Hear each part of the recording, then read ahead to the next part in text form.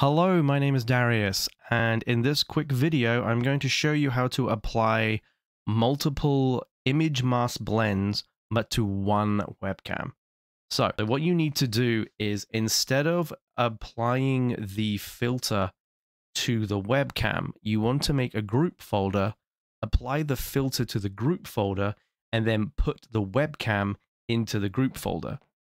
So the webcam in the folder will be adjusted but the webcam outside of the folder on another scene will not hit we will not have the same effect on it. So how do you do that? We'll go to the this is the one i want to change. So in the source section hit the plus button add and at the very bottom you'll see group. Click that and i'm going to name it mask small okay? And hit ok now right click the group folder that you've just made and apply the filter to that. So image mask blend.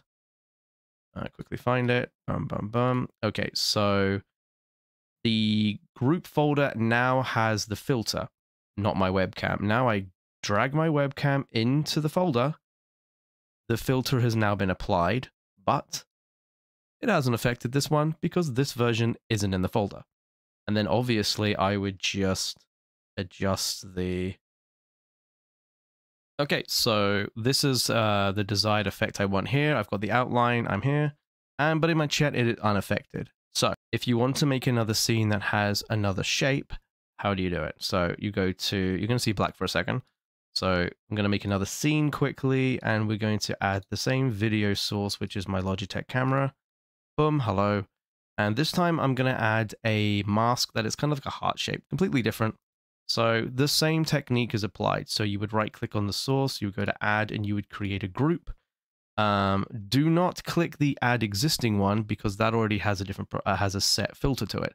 So we're going to create another one. I'm going to call this one mask and H for heart. Okay, uh, right click that group folder, add the filter, uh, mask and blend, browse, find my heart, bitmap. Okay, and then drag my camera in there, and bam. Now this is, um, has the heart thing applied to it.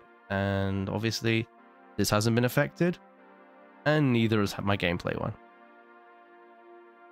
And that is how you apply multiple masks to one webcam. I hope that helped you guys out. I hope you have a good stream, and I will see you in the next video. My name's Darius. Thank you very much for watching. Take care.